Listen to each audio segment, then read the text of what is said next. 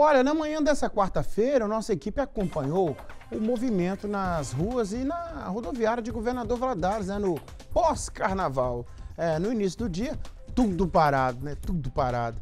Lucas Alves e Wellington Cunha contam pra gente na reportagem aqui que hora que nós vamos despertar. Balança aí.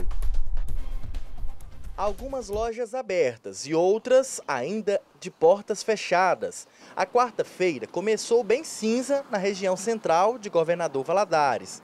O fim do recesso prolongado é bem tímido e tem cara de ressaca. Além da folia, muitos aproveitam o carnaval para viajar e buscar outras alternativas para curtir o descanso. A minha avó, que tem 102 anos e que já tinha 38 anos que eu não havia, porque eu moro em Belo Horizonte é, eu mudei para Belo Horizonte, eu tinha quatro anos de idade. E depois eu voltei para cá algumas vezes, só que ela não morava aqui. Ela morava em Divinolândia de Minas. E eu tive lá, a última vez que eu tive lá, eu tinha 15 anos. E depois disso eu não voltei mais. Aí agora que ela está acamada, com 102 anos de vida, igual eu te falei, aí meu irmão falou, vamos lá visitar nossa avó nesse carnaval, que é melhor do que é, melhor do que outra coisa para a gente que não curte folia de carnaval, é estar perto das pessoas que são importantes para a gente, né? Então, no caso, a minha avó, anos sem ver ela, foi muito bom revê-la.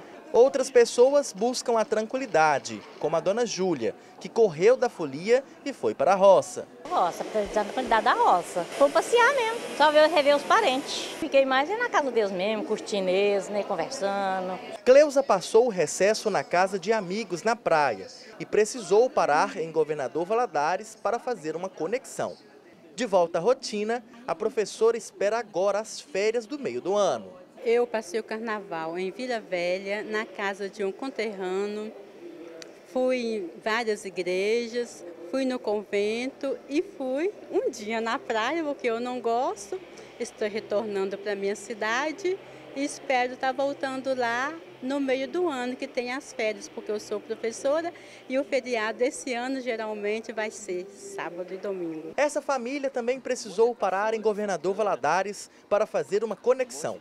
Eles vieram de Porto Seguro, na Bahia, e estão agora em destino a Porto Velho, capital do estado de Rondônia. Para eles, o carnaval ainda não terminou. Fez uma parada aqui por causa da excursão que a gente pegou, né? Do mesmo de viagem mesmo, que a gente está de férias. E desde o princípio do carnaval, então a gente vai continuar aí festejando. O interior é uma opção para quem quer fugir da folia de carnaval das capitais. Ver os amigos é uma das opções da programação para não deixar passar em branco o recesso prolongado. Eu gosto muito de Governador Valadares, porque, aliás, meus amigos moram aqui, né? E outra, que a gente quer fugir um pouco da rotina lá de Belo Horizonte, que está muito agitada. Principalmente eu moro numa avenida lá, né, muito agitada, e a gente já está de idade, né? A gente quer um pouco de descanso. Aí a gente aproveita, vem para os amigos. Só que o calor daqui é bem diferente, né? Mas aí a gente vai suportando. Ah, eu gostei do estilo dela, hein? É, tá bem aparamentada.